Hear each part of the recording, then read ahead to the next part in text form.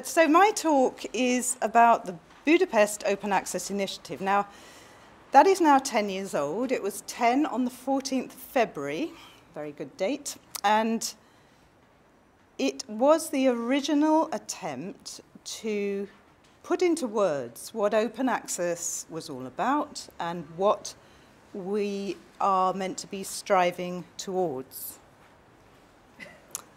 Please stop that, Richard.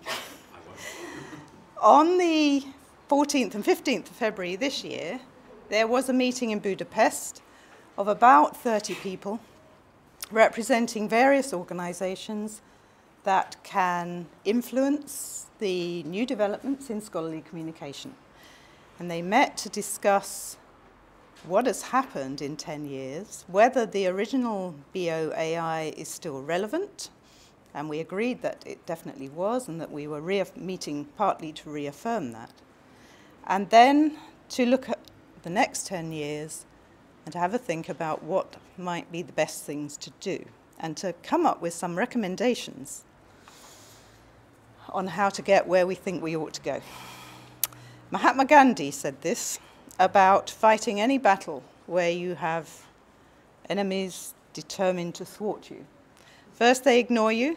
This is the open access history altogether. They ignore you, then they laugh at you. And we went through that phase very definitely. Then they fight you, which we are probably still in, and then you win. And I think from Bill's introduction, we are beginning to realize that actually we are heading for that winning tape. A terrible thing to say in Olympics year. But anyway, there we are. So where have we come so far? Just a quick, this is very quick because I want to get on to the to perhaps some more exciting things about where we think we're going next. So where have we come so far? Well, we started by, and I say we, I mean all of us, the whole community that's been working towards this fundamental and very important change in our scholarly communication system. We defined the concept of open access and why we wanted it. We described the issues that it encompasses and the implications for various constituencies along the way. We made the arguments that have to be made to try to persuade people that this is the right way to go started off by just making the arguments because there wasn't much evidence that it was a good way to go, except, oh, that sounds like a good idea. But very quickly, evidence did become, did start to gather, or become apparent, and we started to gather it together. And using that evidence, we made the arguments again to different constituencies, different evidence, different information, different things have resonance for different constituencies. That will continue to be the case for a long time yet. What works with David Willetts will not work with a university vice chancellor. And what works with the university vice chancellor would definitely not work with a researcher in his university. We have gathered evidence for the other beneficiaries that can enjoy good things from open access. At the beginning, we were talking about the benefits for the research community. Now we're talking about benefits for all sorts of other constituencies as well. Yes, the research community. Yes, the small business and innovative business community. Yes, the independent researchers. Yes, our teachers in our high schools. All these things and more can benefit from open access. Gradually, gradually, the hearts and minds are being won over, and policy development is showing that. And finally, open access has come into the mainstream. Bill went through a lot of things, Martin went through a lot of things. Let me go through a lot of things too. But first of all, let me give you some of the evidence that, that PubMed Central gives us as to who can benefit from open access. There are 2 million full text articles in PubMed Central now, having been gathered over five, six, seven years, five since the proper mandate went on that, uh, that repository. It gets nearly half a million unique users per day. That is an enormous usage for academic material. Quarter of them come from universities. Who would have bet it would have been so low? But it is. So who are the others? Nearly 20% are what PubMed Central people classify as government and others. it's a very nice little classification there, category. Government and others, they're, they're looking at domain names, of course, coming in. 40% from citizens. These are people coming in from domains that are not academic related and not .gov. So they're other people amongst whom are our independent researchers and people like me, of course. And 17%, critical list, 17% from companies, businesses that need access to that material who cannot afford to buy it. So these are just some this is just one little window, snapshot, of how open access is already benefiting communities. And those data are rather nice to put in front of people that you're trying to per, um, persuade should develop a policy. We've also learnt about the economic effects of open access or of not having open access. And just very quickly, I don't want to spend too much time on this, the HUGO project, the Human Genome Project, which ran for about 15 years, was financed by the US government, and the US government put a lot of money into that project. It's generated in return a lot more money. The government put in $3.8 billion. It's generated economic activity worth nearly $800 billion. For every federal dollar invested, $141 worth of economic activity has gone on, and it's created over 300,000 jobs just in the US, these figures. They haven't looked at Europe yet or elsewhere. If we look at the other side of the coin and look at companies who do not have access to research material, this is our own study for the Danish government, we were able, by surveying these companies and asking them a lot of intrusive questions about their budgets and about how they are hampered by not having access to journals, we were able to show that these the problems in accessing material, finding and trying to access it, cost Danish small and medium-sized enterprises 73 million euros a year. That's quite a lot for an economy the size of Denmark's. It delays product development by an average of 2.2 years, which seemed to us at the time to be huge, but we went back and checked it and it was true, and costs around 5 million euros per company. And these are little companies trying to get established and trying to innovate. Our economy is much like Denmark's in that it is based mainly on small and medium-sized enterprises and not on large businesses. Large businesses have big libraries and can afford to buy journals. But our economy is not is founded and is based mainly on the economic activity generated by these little companies. So we know very well that this kind of thing is happening here too. It's one of the reasons why Martin was talking about the innovation agenda. This has gone down very well, I think, in the corridors of Westminster. So, yes, and it's got to become mainstream. Now, I haven't put this up so we can all gloat. Um, so, I have a straight face, and I want to say that although The Guardian and certain other newspapers were occasionally covering something to do with open access, it was a very occasional thing up until last August, when George Monbiot took a break from from telling us all about saving the world with climate change and suddenly wrote this article. And it was a very strongly worded article, but then he never does pull his punches. And that started The Guardian, in particular, publishing regular articles about open access, written by all different people. So that's mainstream, if you like it. The New York Times, I've, this, this is the Wellcome Trust's um, new, stronger announcements that have been happening in the last couple of months. Covered, of course, over here very much, but also picked up by the New York Times, again, suggesting mainstream journal, uh, journalism interest.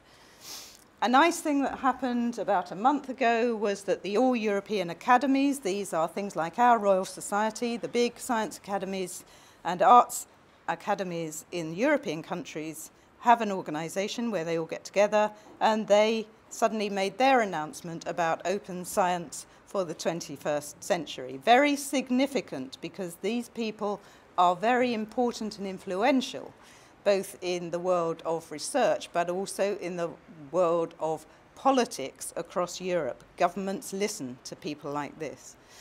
Brussels, the Commission. Oh, we say terrible things about the Commission, but it's on the right track now for Horizon 2020. Forget about the legislation about straight bananas and all that.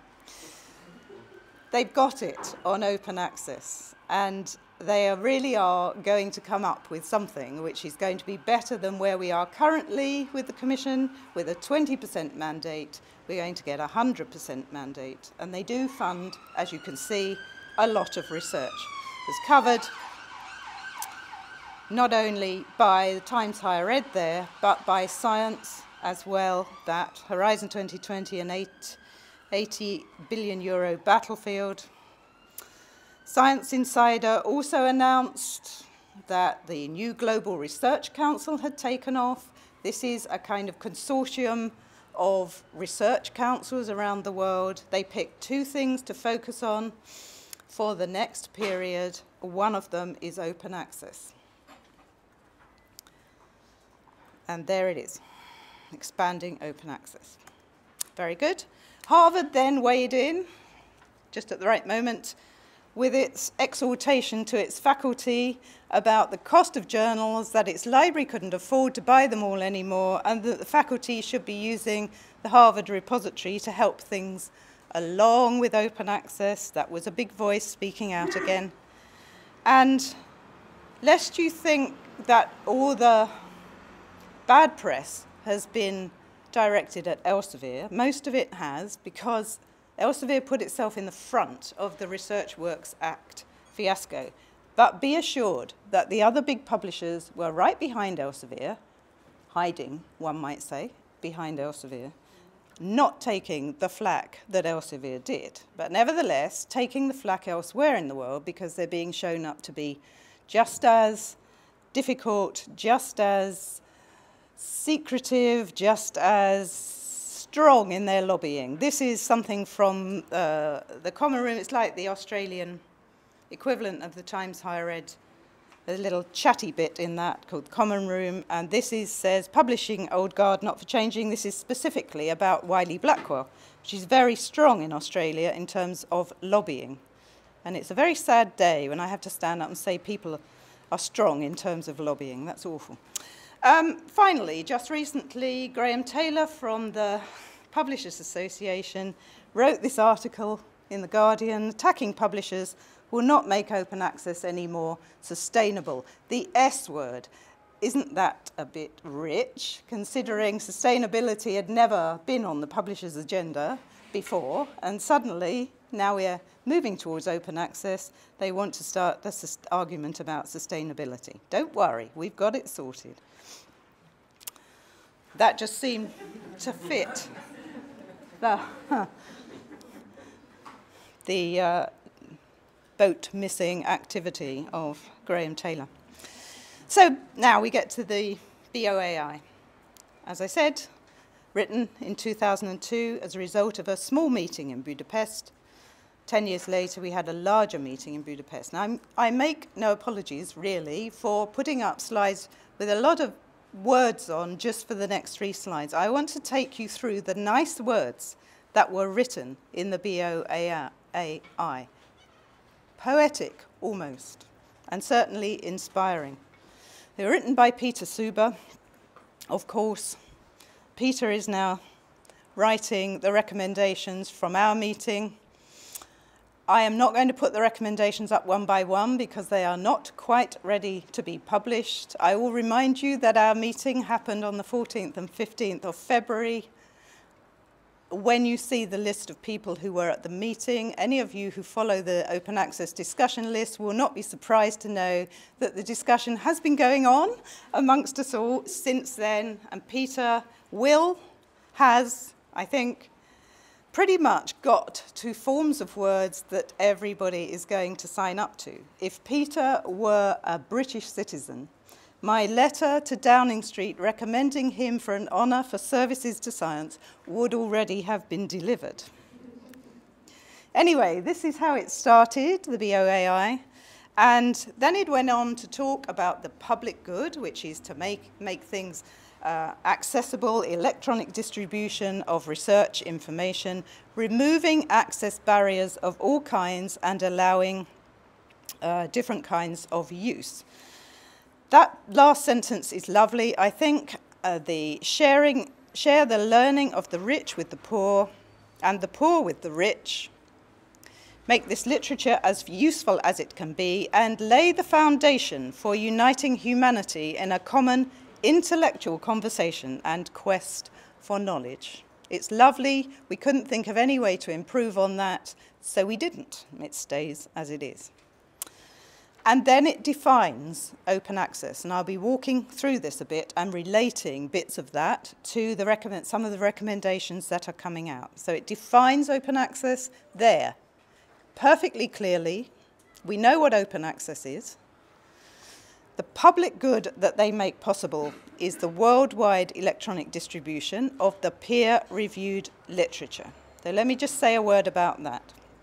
Worldwide electronic distribution the recommendations will say that all research institutions should have an open access repository. We are at an RSP meeting and we, as commonly happens, tend to get drifting off to talk about gold open access and APCs all the time.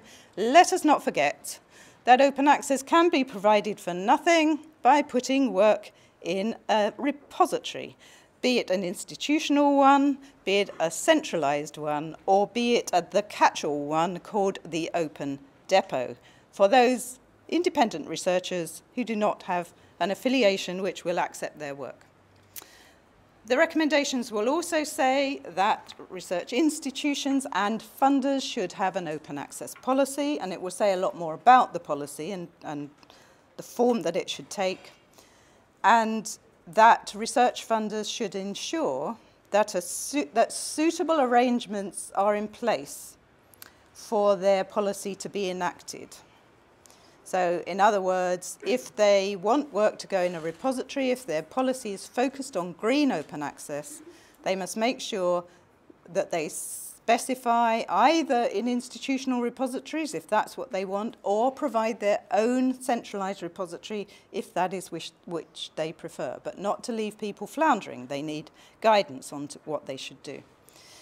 That phrase, the peer-reviewed literature, journal literature, that's what it said, peer-reviewed journal literature, and it's possibly the only thing that, there, that could be changed um, now. Obviously, the recommendations will still cover the peer-reviewed journal content because that is the main target of open access. It will also mention theses and dissertations, and it will welcome other scholarly matter. So Martin mentioned the grey literature. It's welcome, but it's not the main focus of open access. Here we go.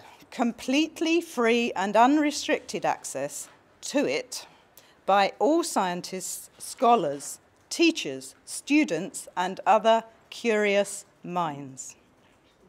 Anyone who is interested in research findings should have free and unimpeded access to that. So completely free access for all is what the recommendations will continue to recommend for all, not gifts, from specific publishers for specific poor countries that get it for free until they, their GDP rises enough and then they have to pay for it. That is not open access. It is not national licenses that benefit only one population, one country, and where we have to go to a public library to look at this material. SMEs that wish to text mine the chemistry literature or the biomedical literature cannot do that by going to their public library, even if it's still open. Don't forget what we're trying to do is share the learning of the rich with the poor and the poor with the rich. And by that, laying the foundation for uniting humanity. Stick to the definition of open access. We can have extended access, we can have increased access, if we like, by these other mechanisms. But let's not call it open access, and let's not let our policymakers be misguided into thinking that that's open access. It isn't. The BOAI also said to read download, copy, distribute, print, search, or link to the full text of these articles. We're talking here about reading, discussing, building, and citing. I haven't come to reuse in any other way yet. I'm coming to that in a minute. So, in other words, we say goodbye to the days of fair use and fair dealing restrictions and all those permissions that come with all that stuff. We say goodbye, hopefully, to lawsuits for, uh, for researchers who pinch bit out, bits out of articles, like graphs, put them on their blog, and invite others to discuss them. There was one, it was withdrawn after a lot of hoo ha. You can find out which publisher it was, it was shameful. Hopefully, there will be no more of those in an open access world. But there will be, and the BOAI did say this, proper continuation of the proper scholarly practice of accreditation. So wherever you know the author, hmm, you should know the author. If you are going to take their material and reuse it, they should be cited. Now we get to the proper, what I call the proper, the, the, the challenging issue of reuse. Crawl these papers for indexing pass them as data to software, or use them for any other lawful purpose. This is where we're coming to the new technologies that Martin referred to, text mining and data mining. I'm talking to a repository audience, so you do know all about these, but I've, I've specifically um, split these away from the issue of just being able to read the article from a repository or in a journal. This is fundamentally different and requires licensing. The recommendations will cover licensing. Um, we discussed the fact that open access journals can always use an open license. They can always do that and should do. CC BY is preferred and it, that will be recommended as the kind of default license. Some journals some publishers will not wish to use that license. We can't force them. If they want to put an NC on the end there and have a non-commercial clause as well, if they think it's necessary, okay. It's still technically open access. The recommendations will also mention and this will be of interest to this particular audience, that green open access content in repositories should ideally carry an open license too. Now, I know some repositories have worked a long way towards that, some haven't, and many, or probably most authors, to date, do not understand the significance and the implications of licensing their work properly when they put it in a repository. There's a lot of work ahead of us to try to, to educate, if that doesn't sound too condescending, uh, educate the author community about this and the importance of putting the right license on, which will allow proper use of their material in the future by these new technologies. For the moment, however, we will recognize in the recommendations that pragmatism rules. So in other words, I think the wording will be something like Gratis open access, that is, being able to just read it, is better than no open access. That Libre open access, that is, with having the right licensing on top, is better than gratis open access. And where we can get more, we will get more, or we will encourage the getting of more. But it will take a lot of arguing, we realize that, to get to the point where all open access material is carrying the right licensing. With respect to the text mining issues that this licensing refers to, I just want to say a few words because there's been a lot of discussion lately by the open science community about this issue, arguing, uh, well, debating with one another, let me say, um, about what they want. There's been some movement by the publishers, the big publishers.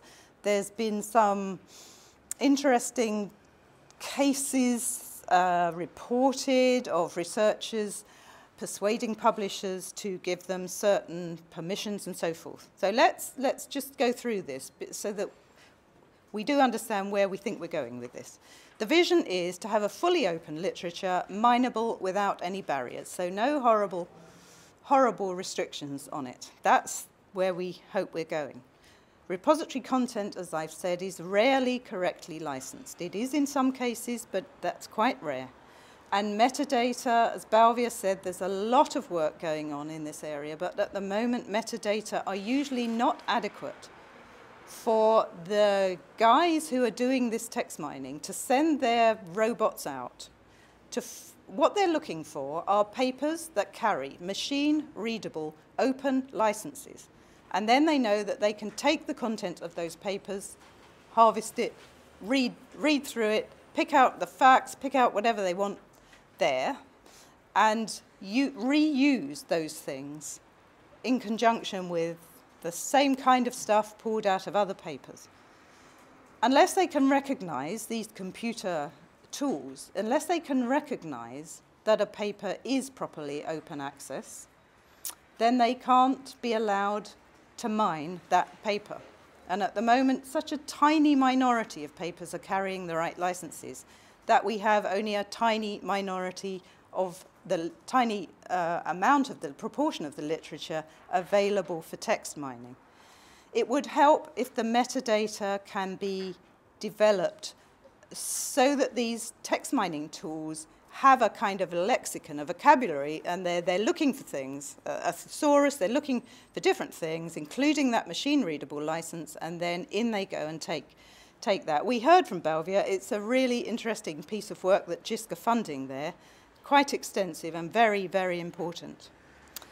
Open access journals, as I said, often do not carry the right license, though I think many of them are now moving in the right direction. They certainly can't be part of the Open Access Scholarly Publishers Association, publishers who will not uh, put the right license on their open access journals. Hybrid journals very rarely license their content correctly at all. Um, and about 80% of the literature, of course, is still behind toll barriers. So we do have a problem with text mining at the moment, and it's, it's frustrating for the people who have developed these tools because they know the promise is huge, and yet they don't have the raw material, the material to work on. Um, and the final point is that even when journals are subscribed to by a library, a university library, the researchers within that institution do not have the right from the publisher to use their text mining tools on the content of those journals. They've paid for access to the content, but they do not have the rights to mine it. Some publishers, oh, there, were, there is a researcher in the University of British Columbia, I think, who has done a deal to show it can be done with, is it Elsevier, Richard? It's Elsevier. So that she can mine the texts of Elsevier journals. And other big publishers have kind of said, in fact, explicitly, in the case of Bob Campbell of Wiley, Blackwell, Wiley Blackwell, have explicitly said, this is okay, all researchers have to do is come and ask. Now, that is not a model that is going to work. There will be tens of thousands of researchers around the world wanting to use text mining tools, There are a lot of publishers and a lot of journals, and I don't think the publishers are going to want letters, emails from all these researchers asking for permission and having to set up gigantic permissions departments, which would tower over the size of their current permissions departments just to satisfy this need. It's an infeasible solution. And this is going to have to be changed. The recommendations from the BOAI thing will have words to say about this. Obviously, nobody can be forced to do anything, but the recommendations will set this in the context of where we would like to go, that vision, and try to explain why this is such an important issue. It will also deal, the BOAI, with the prestige, and I, so I'm going off the text now and into other things that it's going to deal with, prestige and esteem. There will be explicit recommendations on new and alternative metrics, bearing in mind that what is inhibiting really the culture change that we need in researchers so far has been the fact that they are still assessed on the basis of outdated metrics, in fact, the journal impact factor. So the recommendations will be encouraging institutions and funders to use these new metrics in their evaluations of researchers. Now we've seen some movement on this from HEFCE, which is very encouraging, and we've seen it practically introduced by publishers like PLOS, who are putting lots of article level metrics on their articles. How many downloads has this had? Where have they come from? That kind of thing how many citations, and so forth.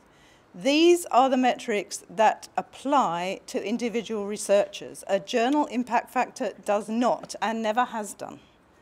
And so there will be a recommendation to the people that matter, the institutions and funders, to kind of move along a bit now and stop, stop thwarting progress by, by making people focus still on the fact that they have to publish in journals that have high impact factors. It's nonsense. Infrastructure, there will be some recommendations on this. One will be about interoperability. Uh, uh, amongst other things, it will say that repositories should be able to harvest and redeposit content. This is because researchers may be, and increasingly are, being asked to put their work in different places, more than one and therefore it will be very helpful if repositories, they've put it in their institutional one, that the institutional repository can just send it to Pub, UK PubMed Central or whatever. So that's one thing. And the technology is there, really. It's just the will to get organized. Um, repositories should exploit all the opportunities they find to provide usage and bibliographic data and make these openly available, moving towards a completely open access corpus, particularly with bibliographic data. So new metrics, um, making things open that weren't pre previously open. And, and that they should play their part in the, maybe even the development, but certainly in the adoption of alternative metrics. You have a major role to play, the repository community, in this. You can change the culture. And, and so this, the recommendations will call for that. So beware. Uh, more infrastructural things, it will mention an open bibliography because we would like that at the moment. If you want a bibliography that covers most of the literature, you have to pay for it, as we know from Thomson or from Elsevier. Open directories, such as we have at the moment, Directory of Open Access Journals, repositories and so forth. We want more and they may come. Bill said we don't know what we're going to be wanting in 10 years' time. That's true. Let's keep our eye on the ball and develop the things that are needed as they're needed to hope, help things along. And any other open tools for supporting this new scholarly communication world that we have. All sorts of things. These, I think, will specifically be mentioned in the recommendations, but, but others maybe too by the time by the time agreement is fully reached. And they will, the recommendations will encourage, so back to the peer review thing, encourage new forms of peer review. We know there's a lot of contentious issues around that, But nevertheless, we think they're lovely. And new forms, experimentation with new forms of the research article. Frankly, I think in 10 years' time, Bill, I, my bet is it won't look anything like it does now. Um, and I think this is probably the final point, advocacy. It will say something about advocacy because it is so important. The education of all stakeholders must go on to do with policy development, to do with culture change, and to do with battling against the FUD put out by certain certain uh, parties, let's say. It will, we would like the advocates to articulate what best practices are, publish those to the community to help other people take them up, and to continue to gather evidence on all the things that we need evidence on, the benefits, the harm from lack of access, and on this issue of sustainability. And to recruit allies not only the allies that we've always been recruiting, people like university managers and funders, but allies outside that research community in those other constituencies that I've mentioned before, particularly the business community. Yes, sustainability, that's right, this is where it ends. It will call for a coordinated approach to ensuring that critical services supporting open access are maintained. And that means the whole community looking at the business models that do work and playing their role in helping to support these things. Already we have some OA supporting services like DOAJ that has gone to the community for funding to support it. There may, that may be the way a sustainable business model for that kind of of service, a directory service. But there will be other business models, and they need to be explored, described, and then supported by the community. The solutions will have to be consensual. We, realize that. Martin said there is no more money, and there's not going to be for another 10 years. We can't keep running to HEFCE and so forth and say we need more money for this. It won't come. So there has to be a consensus amongst the community as to how that money that is already there, and we know it's enough with plenty to spare, we know that from the economic modelling studies, how that money is moved around and shared out to support what we think we need for this new scholarly communication system.